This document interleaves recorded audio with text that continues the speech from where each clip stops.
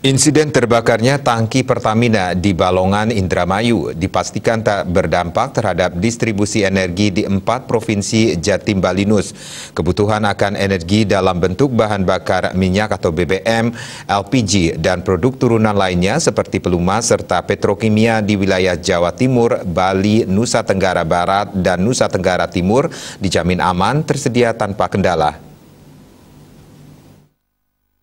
Communication Relation and CSR Pertamina Marketing Region Jatim Balinus Deden Idhani menyampaikan, untuk fuel terminal FT di wilayah operasional sebagian besar suplai dikirim dari Refinery Unit 4 Cilacap, Refinery Unit 5 Balikpapan, dan TPPI Tuban dengan ketersediaan seluruh produk di 19 FT dan depot pengisian pesawat udara DPPU yang melayani lebih dari 475.000 kiloliter.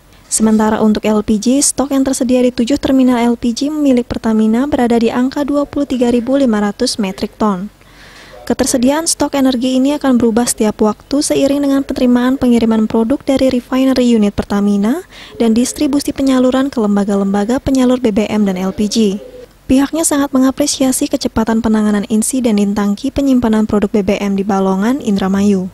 Tim HSSE didukung Dinas Pemadam Kebakaran dan Badan Penanggulangan Bencana Daerah saling bersinergi sehingga tidak berdampak pada pasokan energi di wilayah Jatim Balinus. Dengan listen learn yang terjadi di Balongan, seluruh sarpras distribusi energi Pertamina di Jatim Balinus meningkatkan kesiapsiagaan peralatan dan personil HSSE. Deden kembali memastikan selain peralatan laik dan layak digunakan pada kondisi emergensi, personel yang bertugas juga selalu siap siaga mengantisipasi insiden yang tak diharapkan. Suardika Bisnis Bali melaporkan.